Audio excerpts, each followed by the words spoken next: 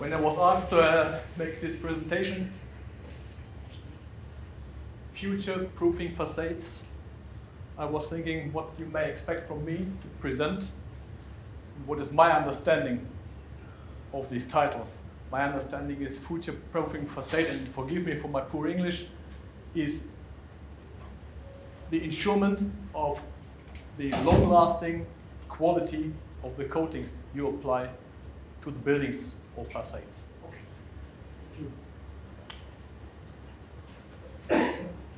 Today's market drivers, before I come to my more technically driven presentation, just two slides which I have collected.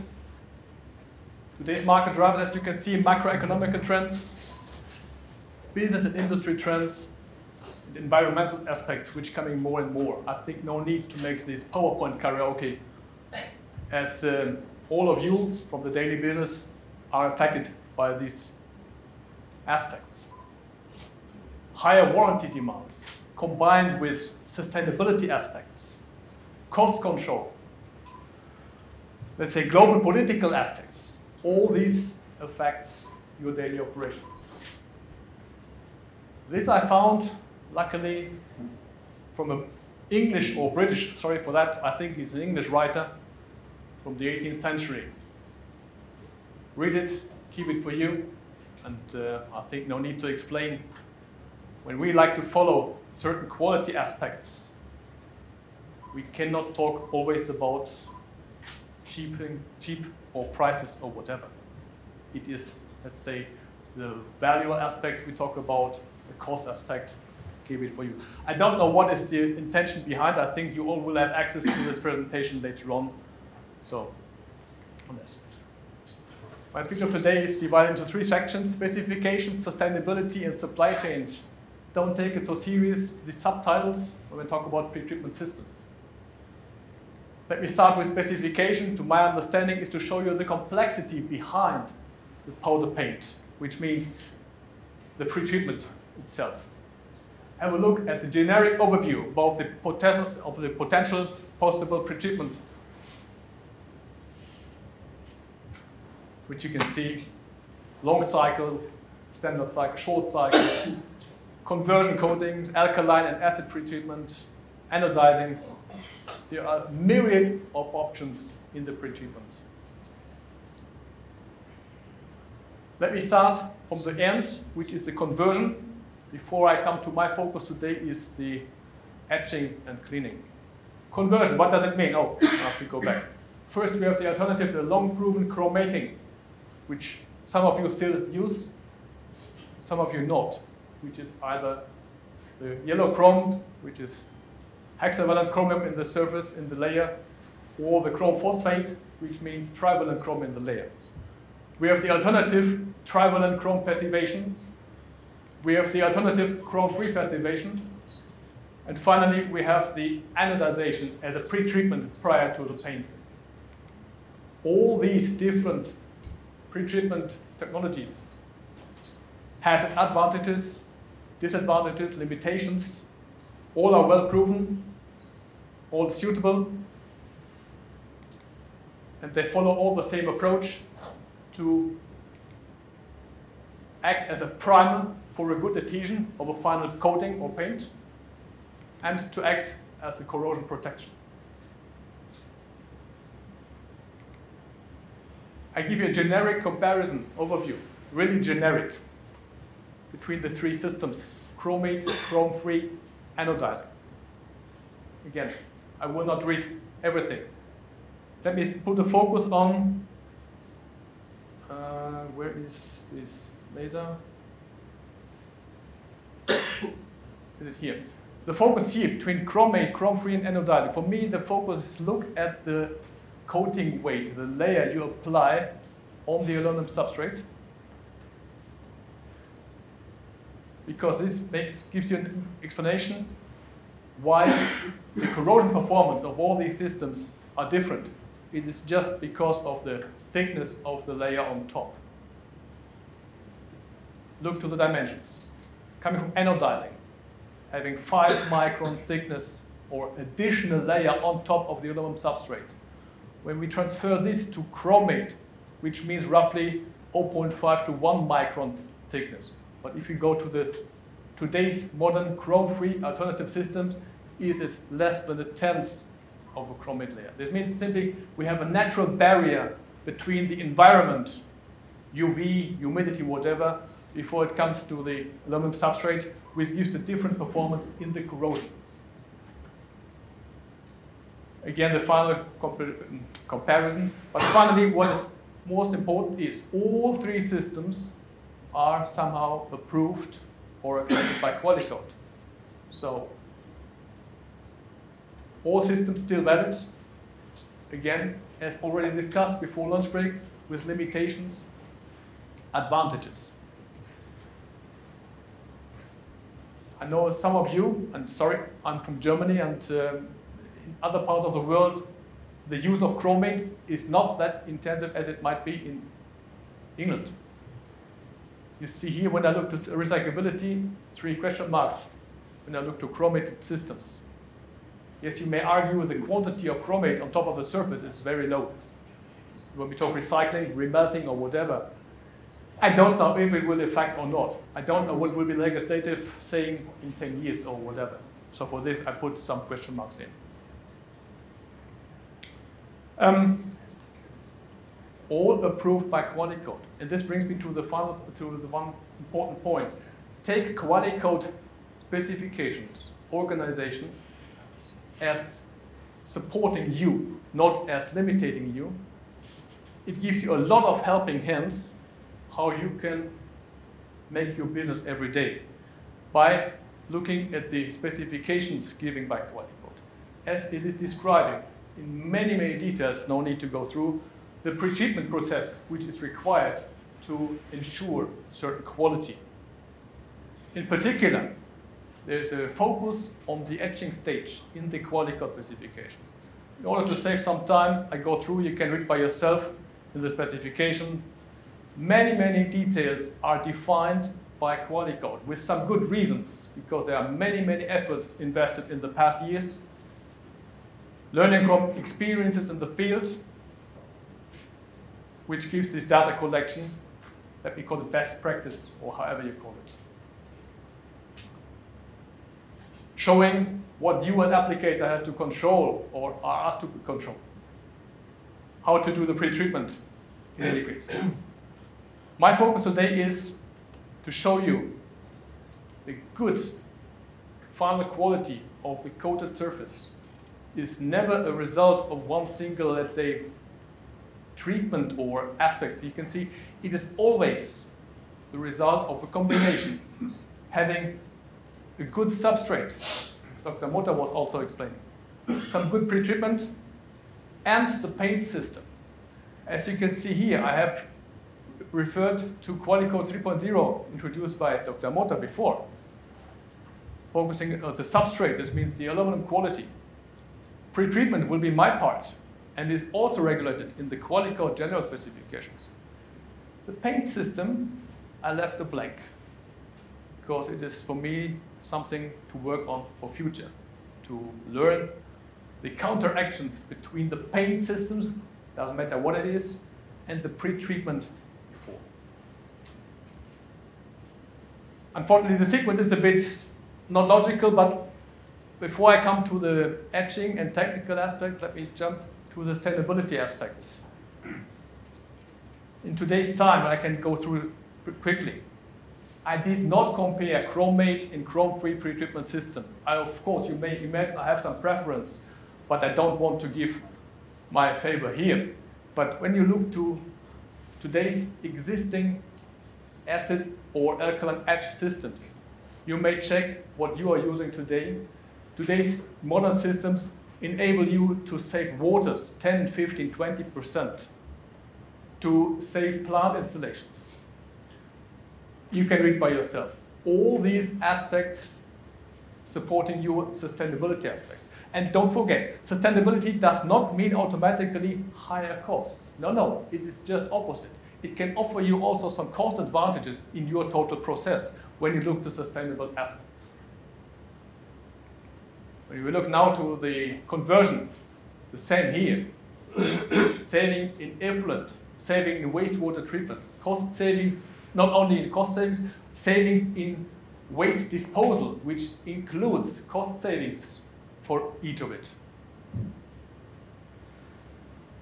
Compared to chromate system. So trust the technology which are available today on the market. It gives a lot of options terms of sustainability, offering you also some economical advantages for your operations. But now come back to my main point. As explained, the long-lasting quality is always a combination of having a focus on substrate, pre-treatment, and paint application. Substrate and pretreatment we cannot separate, so I put it all together. I ask you, when you look to these three pictures, which surface looks more confident to you? This is underneath the paint. Just keep it on your mind for later inspection. You need to know a little bit about the background. I don't want to make you become a metallurgist or chemist, but there are some basic rules which, when you understand behind, it's easier to understand the whole process. This is the cut of, as you can see, of the aluminum substrate, each of it. Extrusion or sheath produced by rolling all look like this. We have the pure aluminum metal, we have so-called deformation layer. Please don't ask me why this is called deformation layer, it is a given name. You see the dimensions, natural oxide, uh, inclusions, whatever it is, fine. You know independently, if we talk about chromate conversion, in former times phosphating, or today's chrome-free, it's easy, we know we need the blank metal that the conversion can be applied. So you may think, look, it's easy to remove everything from the top that we can have a reliable reaction with the conversion code. And this is the background why in particular Qualicoat is demanding a certain etch rate to remove all of these from the surface. Keep the dimension same, and you will later on, you will learn a bit later how difficult it is. For me, the key is the following, because in theory it looks easy. But the, for me, the problem is the following. We all talk about the alloy composition. As Dr. Motta explained, the amount of foreign elements, copper, iron, silicon, magnesium, whatever. For me, this is not the key, as long as it's all in the specification. And all of you who are from the applicator side know sometimes you have some claims and then uh, your customer or pre-supplier is saying, oh, the alloy is in the specification. But then you're asking, why do I have these failures? Which is not sometimes not easy to explain. For me, it is the distribution of these foreign elements is not well known. This means how much of the foreign elements can be found where? Always on top or close to the surface or more deeper in the material or what is the problem here? And no one can predict this behavior. And this makes it so difficult to say we need high etch rate in order to ensure to remove everything, or maybe it is sufficient to have a lower etch rate. So the problem is to, to know where are the elements which are affecting not us, but the surface in terms of paint adhesion or corrosion behavior.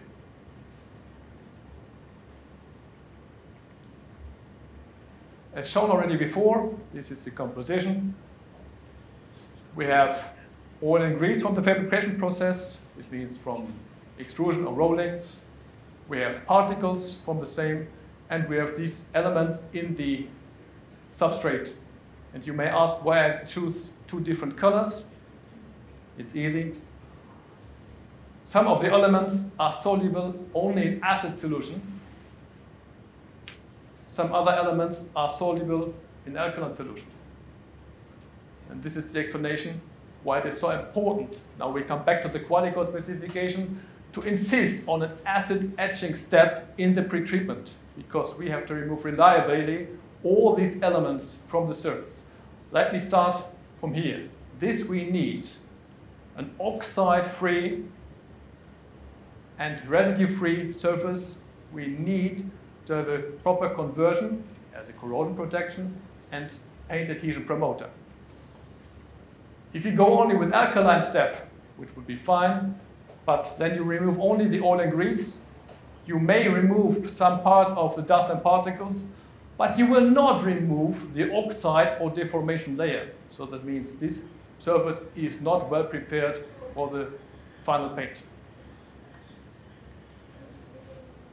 If you go for alkaline pickling, yes, oil and grease again removed, particles removed, oxide is removed, deformation layer might be removed, but we will have some remaining alloying elements which are not soluble in alkaline solutions, which means we will have a pickling deposit on top of the surface, which simply hinders you to have a proper conversion of adhesion. So what you must do is either a combination of alkaline and acidic treatment or simple single acidic treatment to, in, oh, sorry, to enable you to have a deposit-free, oxide-free, deformation layer-free surface before you go for paint. This is the only way to enable you to have a proper quality. Independently, if we talk about chromate conversion or chrome-free conversion. This surface preparation is the key for the success of your operation if you're coming from the applicator side. Now, I, for this slide, I will make some bit karaoke. Why it is so important? Copper, iron, and zinc are decisive for the corrosion behavior. If not removed reliably, it can affect.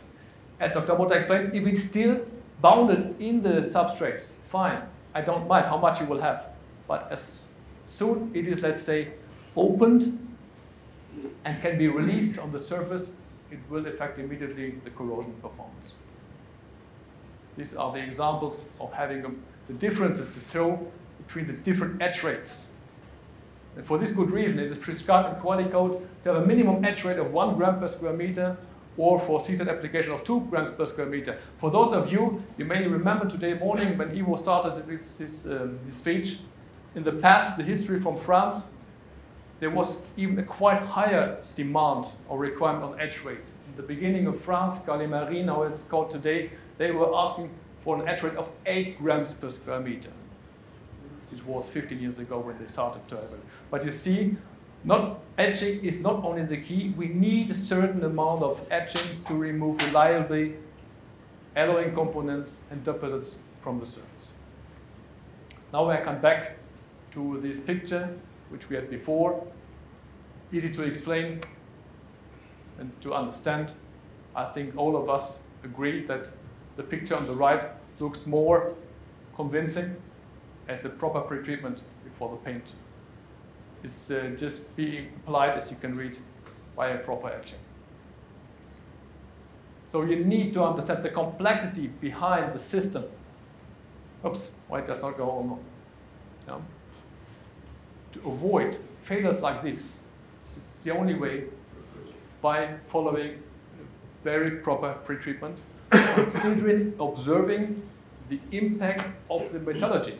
And to those of you who does not have his own extrusion, or even his own smelting, which means you are jobbers. It's difficult because you cannot see on the substrate if this is done properly or not. You can just do a pretreatment and paint in the way it is. And thanks that we have these regulations like Qualicoat or in other regions of the world on other specifications. This was what I want to talk about today again, to show the complexity behind the, let's say, long-lasting quality is always a result of looking at the substrate plus pretreatment plus the paint application. Thank you so much. To those of you who are still staying on chromate, and um, I just found today morning, for this I have this paper here, December last year, since December 2021, it was a kind of anniversary. Because 25 years ago, December 1996, the first approval was given to an alternative chrome-free pretreatment, alternatively to the chromate. which simply means, again, all systems still in use, all have advantages or disadvantages, or let me call it limitations, but looking at the history of already 25 years Chrome-free pre-treatment can make you feel confident that it works today.